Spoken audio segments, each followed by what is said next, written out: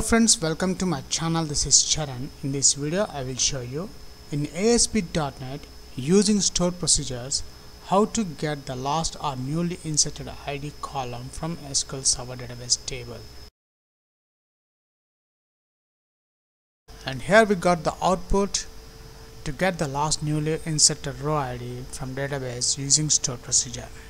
Let's enter some details. The name is Charan email charan at gmail.com the salary is 15000 now before click the submit let's check the database table. The table is this one get emp id execute. Right now this table contains zero rows. When i insert new record the charan details into this table.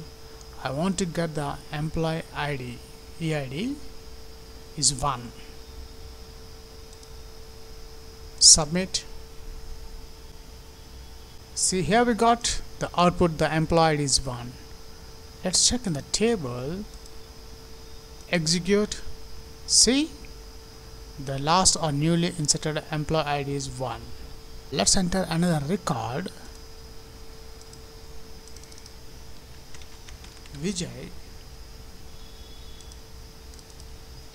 v at gmail.com salary is 10000 when I click submit the output will be the 2 submit. See here we got the newly inserted ID is 2 of the Vijay. We'll check in the table. Execute. The employee ID 2 is Vijay. If you are a first time visitor to my channel please subscribe to get the latest updates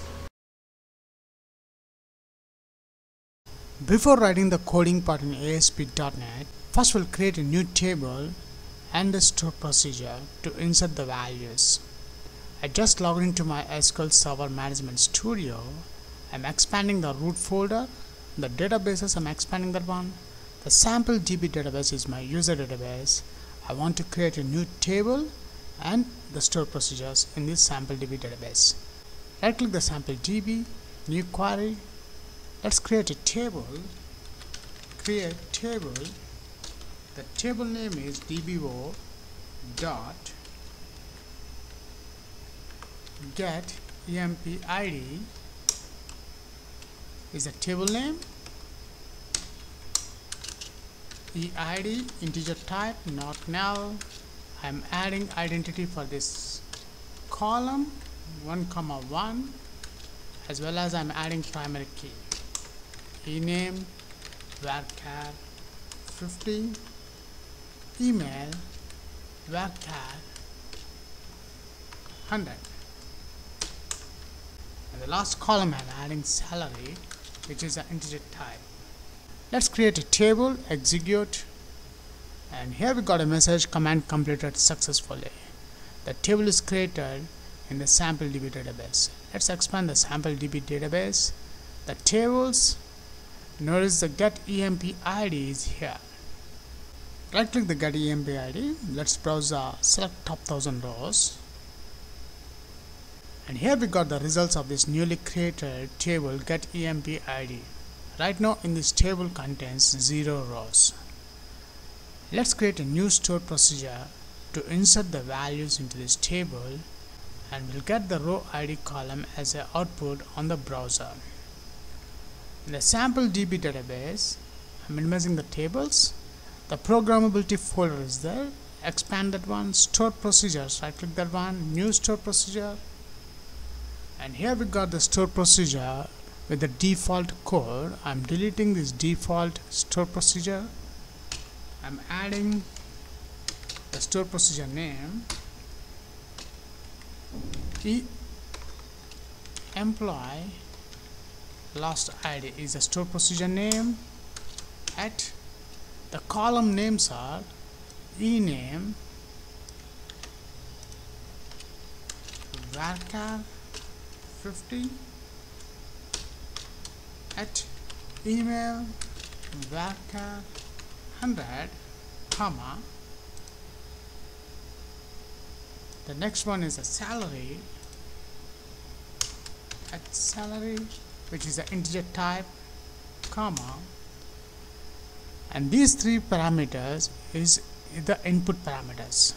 Now I am adding the parameter to get the output. The direction is at id column eid copy that one paste here integer type out out. Now I'm deleting the select statement insert into the table name is dbo.getEmpId copy that one paste here. The column names are ename email salary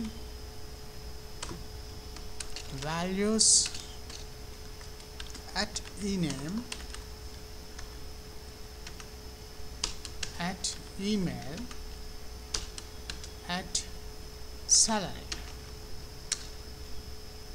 set at eid is equals to scope underscore identity is a method return at eid that's it. Let's create the stored procedure execute and here we got a message command completed successfully. Let's check the employee lost id stored procedure is created in this folder or not let's uh, refresh the folder. Expanding the stored procedures. And here the employee lost id is a stored procedure is added. Up to now we have just finished the first part. Now the second part is the coding part to insert the values into this table. And we are expecting the last row id column as an output on the browser. Let's open visual studio for this video tutorial, I'm creating a new ASP.NET application. Go to File, New Project. And from the Web Templates, I'm selecting ASP.NET Web Application and the .NET Framework 4.6.1. The application name is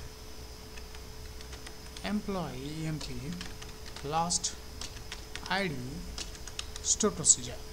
Click OK and from the templates I'm selecting empty click OK. And the project is created successfully. Let's open Solution Explorer. Now in this project I'm adding a web form page right click the project name. Add web form. The web form name is get get lost id okay and here we got the source page of the getlostid.aspx page now between this form and due tag I'm adding center tag h1 the heading is how to get lost or newly inserted auto ID from database using stored procedure. Horizontal line. After the horizontal line I'm adding the text box controls one button control and one label control to display the message. Open toolbox. The text box control I'm adding. The text box name. Name is equals to I'm changing the ID of the text box. Text name. Break. Let's copy this one. Email.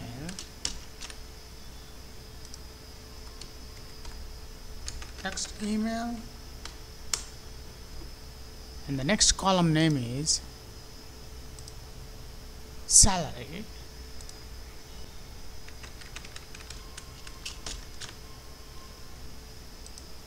text salary. Horizontal line. After the horizontal line I'm adding one button control and one label control.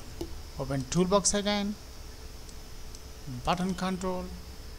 I'm changing the button text to submit.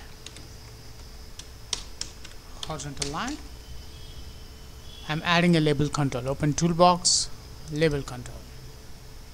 From this label control I'm deleting the text property label. That's it. Up to now we have just finished the designing part. Now switch to the design mode. Double click the submit button.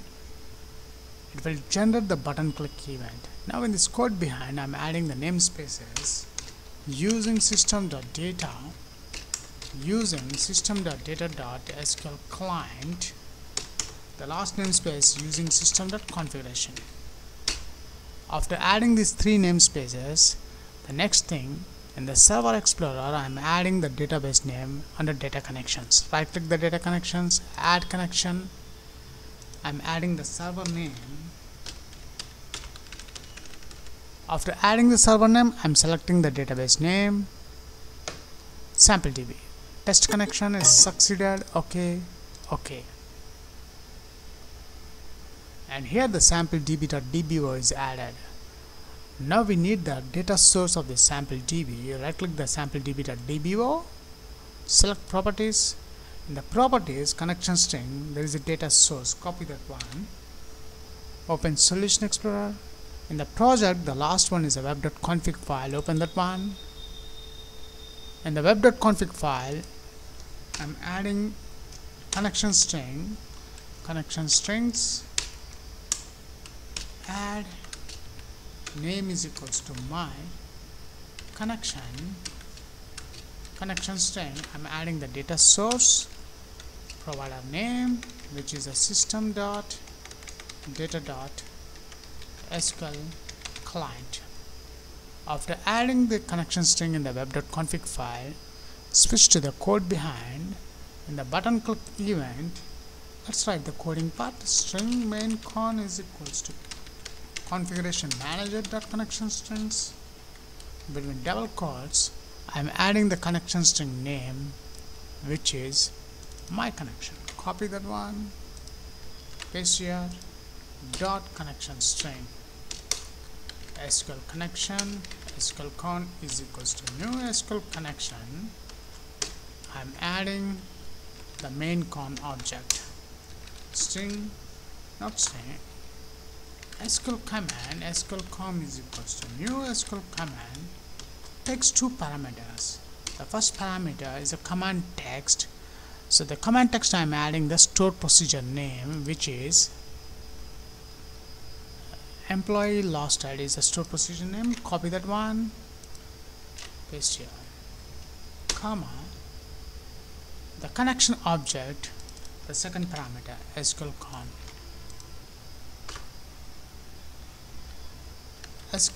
Dot command type is equals to command type dot store procedure. Let's open SQL con dot open method. Close the connection string close method. Now between this open and close SQL com dot parameters dot add with value between double quotes. I'm adding the column name e name copy that one. And the second parameter is the object value. Here the object is a text box control.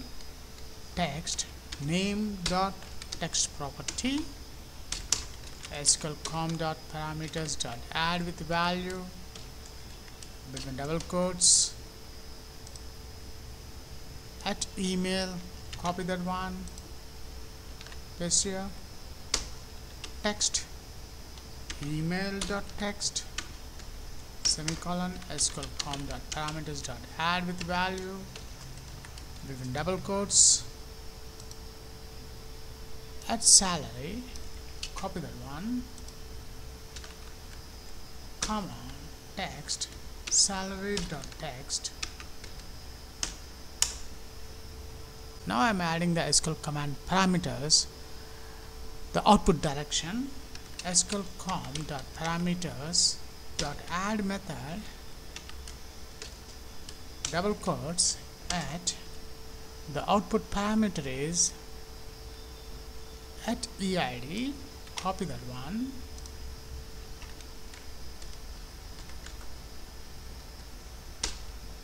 SQL DB type DB type dot integer dot direction is equals to parameter direction dot output sql com dot execute non-query method. After execute non-query method when the records are inserted successfully in the table I want to get the last ID column. So here string get id is equals to sql command dot parameters between double quotes at eid dot value dot toString method. After that label 1 dot text is equals to get id is a variable this one. That's it. We have done the complete coding part. Let's check the results on the browser google chrome.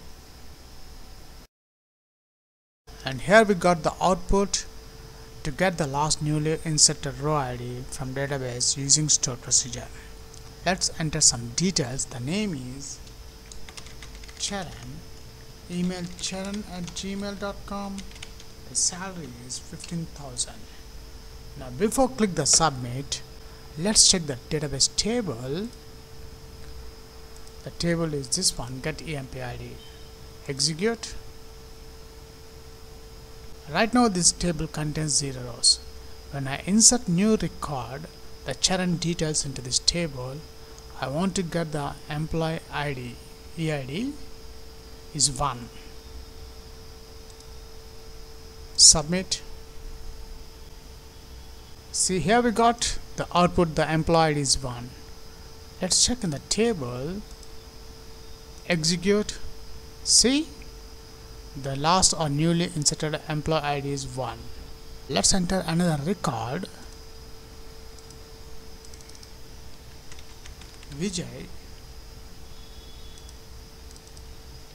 V at gmail.com salary is 10,000 when I click submit the output will be the 2 submit.